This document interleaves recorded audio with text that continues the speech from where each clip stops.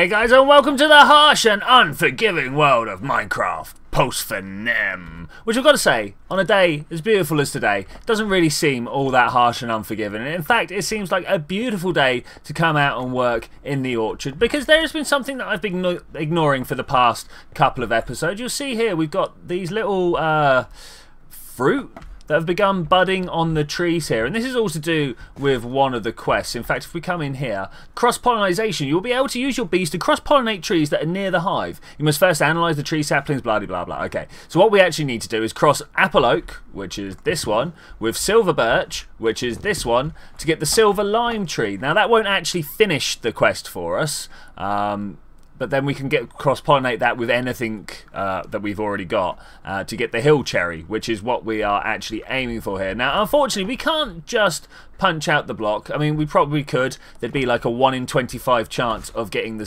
sapling, but we can do better than that. There is an item in forestry that if we make it with a little bronze head like this is called the grafter. Yeah, now this gives us a 100% chance of getting a sapling when we do things like that. Um, this is an apple oak. That's not what we're looking for. We're looking for the silver lime. So I need to try and get up top. Did I bring any uh, useful blocks with me? It doesn't actually look like I did. Okay, so we'll just go around and knock out a few of these. Is that a silver lime or is that a birch? That's a silver birch. Heard him somewhere, the ghast, but I can't see him. I'm just going to go around and finish off these last few. Uh, I know the last couple of hits we don't actually get the uh, the bonus for, so we'll try and do something about that. There we go. Is that the one we're after? Mundane Larch. The Larch. Okay, so it's still not what we're looking for. Uh, is there anything else to, to rip down? I mean, the, ooh. Ooh, do you see him? That, could have been deadly. That could have been very deadly. Quick, get the XP. That's what it's all about. Yeah. Uh, now, did another bit of XP fall down this way at all? There we go. Cool. Eventually, we will be able to get all our uh, dark iron armor upgraded. You see how we've got the electrical charge on our sword and our pick?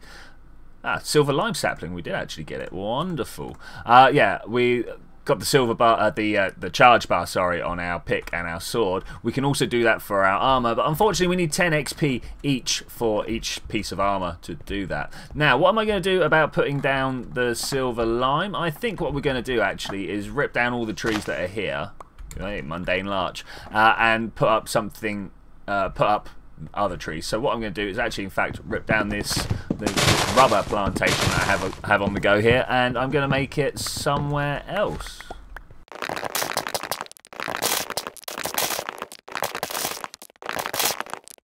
Okay, brilliant. Let's go around and collect up all the little bits and bobs here. Now, before we put down blindly all these saplings and try and decide what's going to be the best plan... Did I just hear another ghast? I'm not sure, it could have been uh, an outside noise. Uh, what I'm actually going to do is get the Treealyzer out of here. Because, of course, like, making the best decisions means having the best information. And to do that, we need to analyse things properly. Uh, just, yep, nothing, nothing out there to be spotted. Uh, so let's fill that in there. And silver lime, this is the thing we want to do here. So what we've got right now, so the active and inactive strain are both silver lime. That is great. That's almost exactly what we want. Uh, but the saplings are low, matures on an average speed. Uh, looking at all of these, not a fireproof tree. That's unfortunate, but we can live with that. Uh, silver birch tree, you can see this is a mix between birch and apple. Uh, I should imagine these also. Oh no, no, not not quite, but are close to it. And the larch, the mundane larch. Uh, these are ones that we also managed to get from cross-pollination. I presume the cross-pollination with the um, birch there, not birch, spruce there. So what I'm going to do, I think, is put larch, silver lime, larch. We'll leave these spaces open for other things. These all still have leaves on them. Okay, cool. I've got something else to show you, in fact. Okay, let's uh, put all my stuff away and then we'll pick back up when I'm walking over yonder. Okay, so as well as doing stuff outside, there's a lot of gardening stuff I want to take care of inside. And you may have noticed that I was starting to run out of a little bit of room down below, uh, in particular to do with the full crops. In fact, these here are the crops that I've got all at 10, 10, 10. You can have a look. Oh, this one's not been analysed, but you can have a look up top and see that they are all at the uh, the top marks. And I can tell you that this one and this one are very much, in fact, at 10, 10. Unfortunately, we didn't have the room here to fill it in. You can see I need to make some room for some plants. So I think what we're going to do, as well as turning over these crops as doing it, we're going to have a little uh, time-lapse bit. know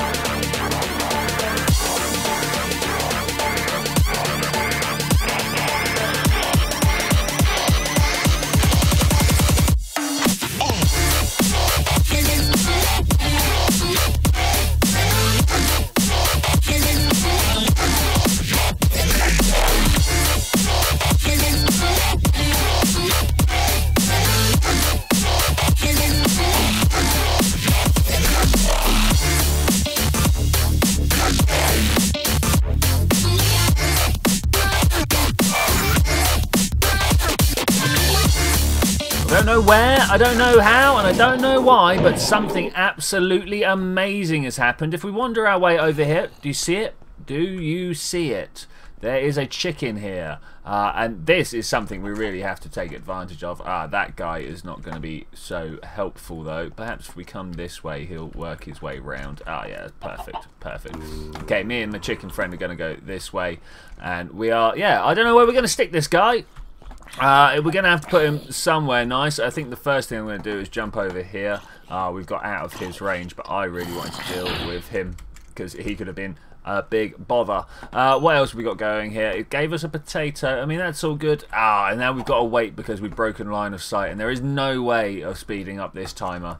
There we go, we've got him. Wonderful. So we're going to take him in through the front door, I think, if you will just come with me. Mainly because I don't know where to stick him. Um, I just I saw him out there whilst I was collecting some wood, and I was like, "Oh my gosh, I've got to make sure we get him inside as soon as possible." Now, I, is anything going to kill him in here? Is there is this a thing?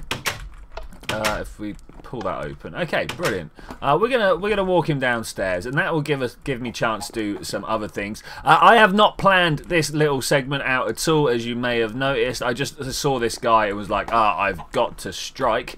Uh, but we've done well. I've done nice little room here. I, like, I've not even finished the roof. This is how like sort of off the cuff it was when he turned up. Uh, let's go and put the seed back. He's now where we need to keep him, and I think I just heard one of the most marvelous things. Did I? Ah, no, unfortunately not. I thought I heard him drop an egg. totally waiting for those eggs because eggs will open up all sorts of good stuff. But look, what's this? Soya beans? Yes, soya beans indeed. This is... Ah, oh, can I not...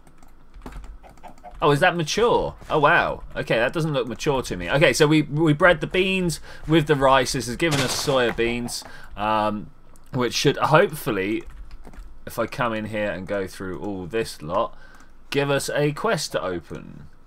Alright, yeah. What are we going to get? I'm not sure what we're going to get. Possibly the heart, actually. Um, and that is literally all we need to do to have finished all our crop growing. Now, I don't feel like we're actually finished with the crop growing. Not not by a long shot. For starters, we want these uh, soya beans to be uh, 1010s. But then there's also a whole load of other stuff I want. Like, I've noticed onions are a thing that are quite important. Are you going into the kitchen, mate? Look here. I've, I've got somewhere for you to go. Just kind of jump in the oven, right? No, we're gonna have to set up some horrific machine for for this guy so we can like collect all the eggs and turn them into decent chickens and stuff like that. Let's um let's rebone mill this and let's think about how we're gonna lay out all these vegetables and stuff because obviously we've got things like uh, wheat, rye, barley and these can all just kind of go in a nice row because they all belong together. I should imagine whatever we do to put down the crops here we're going to reflect on the seed panels over there. So yeah, I'd like to keep those together. Do I have my shovel upon me? I do. Brilliant. Okay, so let's start with the wheat. That, that's going to be one to move. Ah, I have not been preparing the surfaces, but there we go. Classic wheat business thought I just jumped on the thing at the, the farmland and uh, destroyed it there. That would have been hilarious. Okay, what was next after the wheat? It was the barley, wasn't it? Yes, it was indeed. Uh, so we're going to put him in the corner over here. I think we're going to put the rice there because it's like right next to the water. It kind of makes sense. So I'm going to put the rye next to it then. Uh, is there another thing that comes in after the rye? I can't remember one, so we might not no, nothing else really fits in the theme, does it? Perhaps we could put sugar on the end here, uh, have a bit of, of uh, sand sticking out. Uh, I'd like to put something on the edges of this. Uh, now, obviously, signs aren't going to double up well. Uh, microblocks, though, we could use microblocks to do something. I've got the uh, the saw on me. Now, I'm not suggesting we actually use cobble, but I will demonstrate with cobble kind of what I mean. Or maybe I am suggesting we use cobble. I don't know, that's pretty nice, isn't it? That is pretty nice. I don't know, we'll, we'll come up with a nice idea there. But yeah, I'm gonna I'm gonna shuffle these around. I've kind of shown you what I'm gonna do. Uh, I kind of want food stuffs going round to like plants over here because obviously we've done the daffodils, uh, and that would like I would like to have them here. Not daffodils, dandelions. But anyway, yeah, I'm gonna go out and uh, sort all this stuff out and stop waffling on uh, like I have been. This is definitely not something I like to find out is inside my house. Oh. Oh, I lost a little bit of soul sand, but that's alright, we'll live with that. Somewhere down here there is a skeleton, and I do not like having such things somewhere near my place. Uh, well, I really just don't like the fact that it can spawn somewhere near here. Now, I can see him on the surface, so he's not going to be too deep.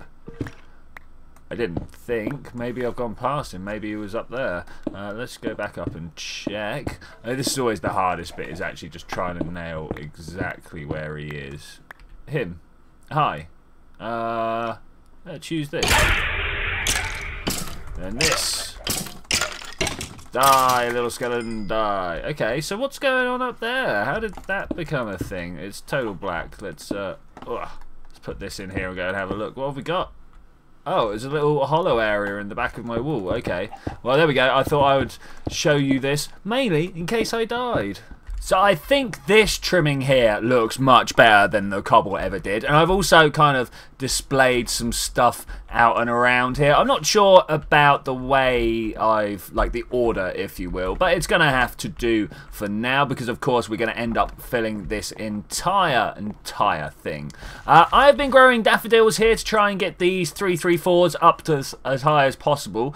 Uh, same with these beans. I need to, of course, put these down like this. We are so close, as you can see, to 10, 10, 10s here. Uh, and these soybeans also uh, on the way of growing. I've been making poppies because I want to start increasing my plant stocks. I want a, a full range of all the plants.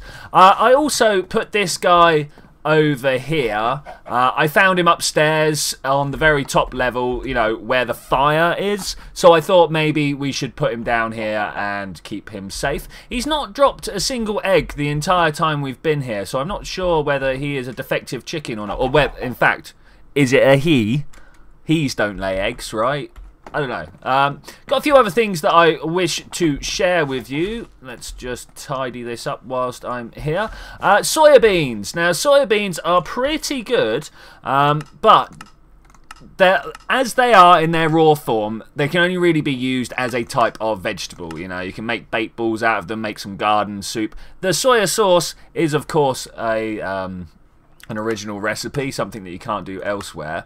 Uh, but if you put it into a presser, you could then make some soya milk out of it. And again, you can... Oh no, the uses button. You can then put the soya milk back in to get the silken tofu, which is just like all sorts of um, ingredients and stuff. Uh, soya bean, uh, soya milk uses. I mean, just look at all these. Anything that would use milk. What?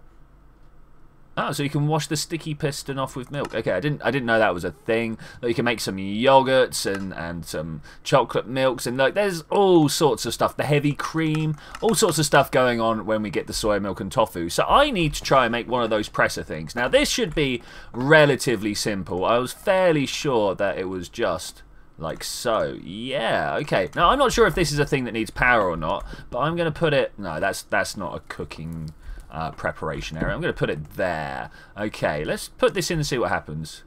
Oh, oh, it does just work straight off the bat. I don't need to put anything into it. Oh, that's amazing. Okay, we're going to leave that running. Uh, there is something else I want to point out. You can see my levels of experience at the bottom there. Yes, we have got a whole 14. That means we can upgrade one more piece of equipment. I am going to go for my chest plate because obviously that is the biggest thing. Uh, and we are going to call it, um, I don't know, something like that because that's a nice sensible name, right? Uh, and we're going to pop it in there and get it all completely charged up. Okay, other things I have been doing. Outside we've been working on the bees. I have been working on a way to completely re redistribute, realign, put things down in different ways. You can see I've got little signs. This one needs to move back one um, over here. I want to move this tree across. I also want to put a little um, holding area for like the pure strains, if you will. So far, we've got Water Rocky and Common as pure strains. I'd like just an area around here to collect them. And then all our pure strains of tree is going to go over there. So I'm going to make uh, a do with that, get on with that. And I think one of the next things we might do is try and actually clear out that place properly. There is a still a chest that is booby trapped in some description. I'm not sure how it's booby trapped. Um, I did in the video playback see that there was some TNT involved and things like that. So I don't know. We're yeah, we'll be back with that. Alright, I think it's time to end this little chapter in our lives here. I don't know exactly what my plan's going to be that's different from last time. I think the first thing we're going to do is run in and grab the spawner down below. Is it this one? It is this one. Okay, brilliant. Just get in there and take that out. Okay. Whew, that's made things a lot safer now. Okay, the next thing to do is upstairs is the chests of hideous surprises. Uh, we're going to see what we can do about that. I'm glad that we can just destroy stuff. So I'm just going to go around destroying everything near anything and just making sure that things are safe. So this this looks safe. Okay, let's do it. That's because it's empty already. That's fine. That's fine. Ah, the place we want to be is actually up there, isn't it? Okay, that's that's fine. We can do that as well. Uh, no. Death by a thousand short fools this could be something that actually ends up happening. This axe, this axe, well, pickaxe, it's it's eating through all this stuff. I'm like, ooh, ooh, let's not take down any of the central pillars. Who knows what's going to happen if, you know, support gets taken out. It could bring the whole thing down. It might be something we try to do um, later, actually. Let's take out, like, just the bottom bits of the of the structure and see what happens because that would be fun, right? Okay, let's have a look down here. There, um, there was a box this way, I believe.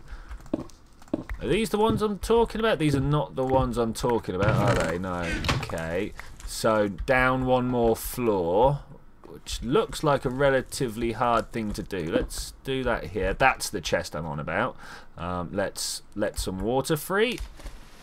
Standard tactics. Can't really say much about that. Okay, so this bad boy. So now I notice, look, it's a trap chest. You see the little red circle around the outside. Yeah, look at this. Terrible. Terrible. Okay, let... Uh, I don't know what's going to happen if I uh, if I hit it. Got to be ready to run. Okay. Ooh, ooh. Oh, is this a new mining aid?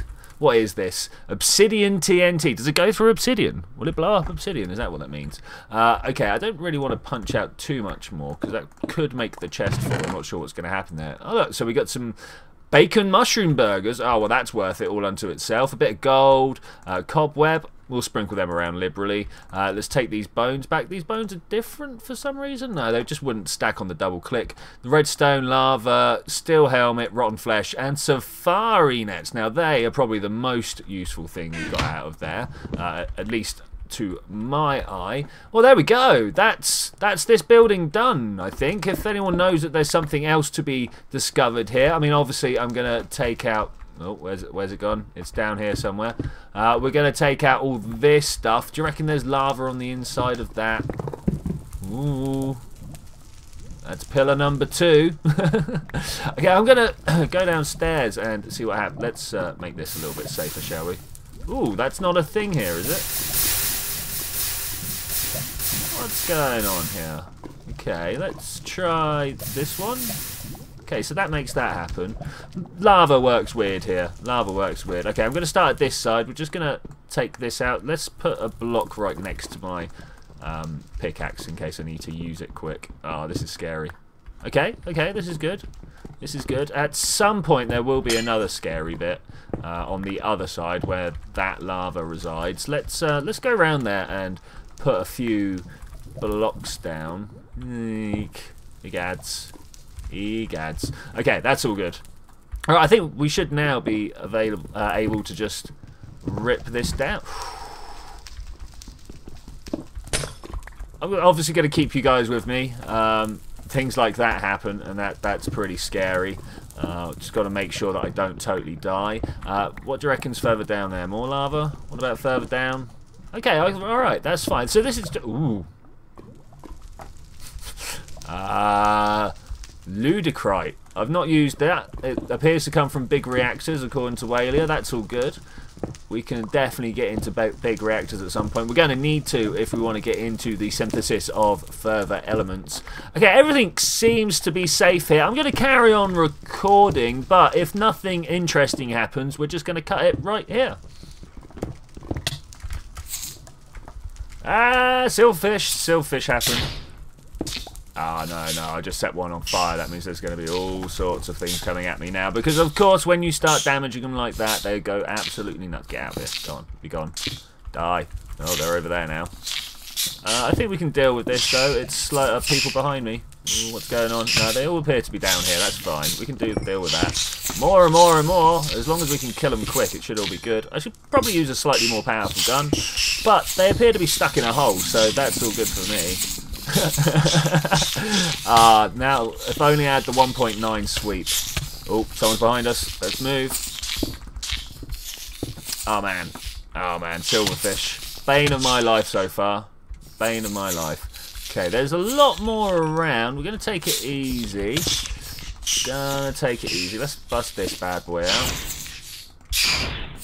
No, he's not dead yet. Come on, die. Man, he, he is tough. Okay, that's that lot done. Any more? Any more? Want a bit? Come on, I'll, I'll give it to you. Okay, interesting, interesting. Um, I don't have my big shot on my bar. Let's do something about that, because I would like to take out the tough in one hit if I can. Oh, especially given how like badly I've been dealing with the situation. No wonder I died so easily last time I was here. Right, was that good enough? Man, these things are normally pretty strong. How much does he have left? Man, over half his life. Let's just jump up and down on spot and get them. Okay. Oh, there's more out there. So, I mean, look at the pockets of them around. Uh, that guy's pretty tough, but that's alright.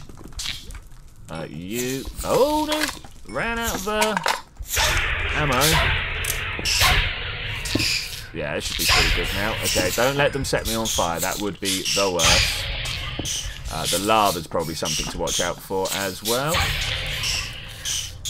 Hmm, interesting place this, isn't it? It's uh, definitely somewhere to keep you on your toes. Oh, if only had a bucket of lava right now. Do you reckon we just wait for them to go back inside? There's a lot. There is like a lot, a lot. Um, maybe we could just kind of funnel them around the side of the wall. Do I have anything to... Well, eating's not going to do me much good. I've just got to wait for the uh, natural regeneration to come back. Hello? Are they gone? They're, they're not. They're not gone, but they are a bit hard to get to. Oh, poison! Poison is not the winner here. Uh, I don't have a bucket of milk on me, so I can't do anything about it either. Okay, I'm going to have to run away because there's nothing quite like being low health to uh, make everything really bad. You see, I can't run any faster, and things are just... Uh... So there is, of course, only one thing left to do to wrap up the whole death experience. That is, of course, putting down all of these graves to mark the dead clones that gave their lives to get us these bacon sandwiches. Well, bacon burgers, I suppose. Uh, let's, fact, first eat one of those in memory of all that happened over there. Uh, the building of great sorrows really were sorrowful. Uh, we only have three gravestones to mark the occasion. Uh, that was, of course, because one of my gravestones got double exploded. Double exploded by two TNT, so I died, and then when the grave dropped, it got blown up by the other TNT. So it was, of course, a very sad day, and we're going to put them all away in this uh, nether-themed graveyard because that just makes sense, you know. It's a little separate area off from my actual graveyard. We're going to take the traditional moment silence as I clear all the waypoints.